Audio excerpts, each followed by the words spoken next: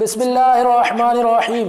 اللہ تعالیٰ کا ارشاد ہے، ان بزرگ نے حضرت موسیٰ علیہ السلام سے فرمایا، اگر آپ علم حاصل کرنے کے لیے میرے ساتھ رہنا چاہتے ہیں، تو اتنا خیال رہے کہ آپ کسی کے بارے میں پوچھیں نہیں۔ جب تک کہ اس کے متعلق میں خود نہ بتا دوں۔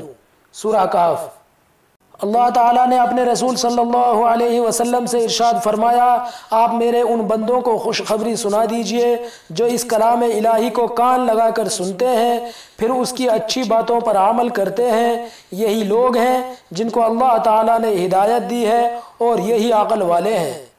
سورہ زمر۔ اللہ تعالیٰ کا ارشاد ہے، اللہ تعالیٰ نے بہترین کلام یعنی قرآن کریم نازل فرمایا ہے۔ وہ کلام ایسی کتاب ہے جس کے مضامین باہم ایک دوسرے سے ملتے جلتے ہیں۔ اس کی باتیں بار بار دہرائی گئی ہیں۔ جو لوگ اپنے رب سے ڈرتے ہیں، ان کے بدن اس کتاب کو سن کر کانپ اٹھتے ہیں۔ پھر ان کے جسم اور ان کے دل نرم ہو کر اللہ تعالیٰ کی یاد کی طرف متوجہ ہو جاتے ہیں۔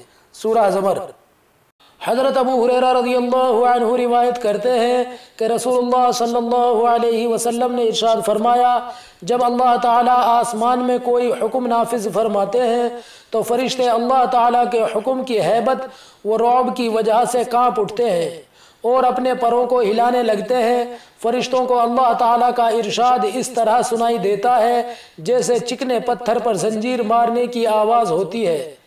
پھر جب فرشتوں کے دلوں سے گھبراہٹ دور کر دی جاتی ہے، تو ایک دوسرے سے دریافت کرتے ہیں کہ تمہارے پروردگار نے کیا حکم دیا۔ وہ کہتے ہیں کہ حق بات کا حکم فرمایا اور واقعی وہ عالی شان ہے، سب سے بڑا ہے۔ بخاری شریف۔ اللہ تعالیٰ نے اپنے رسول صلی اللہ علیہ وسلم سے ارشاد فرمایا، آپ فرما دیجیے کہ بلا شبہ اس قرآن کو روح القدس یعنی جبرائیل علیہ السلام آپ کے رب کی طرف سے لائے ہیں، تاکہ یہ قرآن ایمان والوں کے ایمان کو مضبوط کرے اور یہ قرآن فرما برداروں کے لیے ہدایت اور خوشخبری ہے۔ سورہ نحل۔ اللہ تعالیٰ کا ارشاد ہے، یہ قرآن جو ہم نازل فرما رہے ہیں، یہ مسلمانوں کے لیے شفا اور رحمت ہے۔ سورہ بنی اسرائیل۔ اللہ تعالیٰ نے اپنے رسول صلی اللہ علیہ وسلم سے ارشاد فرمایا، جو کتاب آپ پر اتاری گئی ہے، اس کی تلاوت کیا کیجیے۔ سورہ عنکبوت۔ اللہ تعالیٰ کا ارشاد ہے، جو لوگ قرآن کریم کی تلاوت کرتے رہتے ہیں اور نماز کی پابندی کرتے ہیں اور جو کچھ ہم نے ان کو دیا ہے، اس میں سے پوشیدہ اور اعلان خرچ کیا کرتے ہیں، وہ یقیناً ایسی تجارت کی امید لگائے ہوئے ہیں جس کو کبھی نقصان پہنچنے والا نہیں۔ یعنی ان کو ان کے اعمال کا اجر و ثواب پورا پورا دیا جائے گا۔ سورہ فاتر۔ حضرت عبداللہ بن مسعود رضی اللہ عنہ فرماتے ہیں کہ مجھ سے رسول اللہ صلی اللہ علیہ وسلم نے ارشاد فرمایا، مجھے قرآن پڑھ کر سناؤ۔ میں نے عرض کیا، یا رسول اللہ کیا میں آپ کو پڑھ کر سناؤں؟ جبکہ آپ پر قرآن اترا ہے۔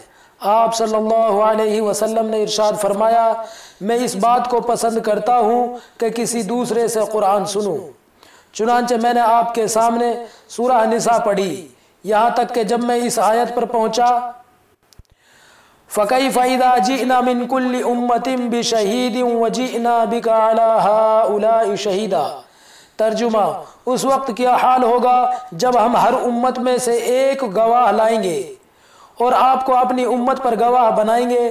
تو آپ نے ارشاد فرمایا، بس اب رک جاؤ۔ میں آپ کی طرف متوجہ ہوا تو دیکھا کہ آپ صلی اللہ علیہ وسلم کی آنکھوں سے آنسو جاری ہے بخاري شريف.